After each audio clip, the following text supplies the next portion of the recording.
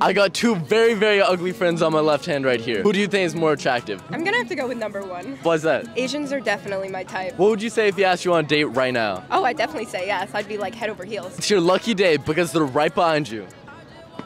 Yo, Yo, are you French? Because I just fell for you. I'm not.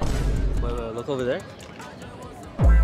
You know what? Let's just finish this and uh, put your number in that phone. Okay. Yeah? Yeah. Alright, alright, let's go, let's go. That's crazy.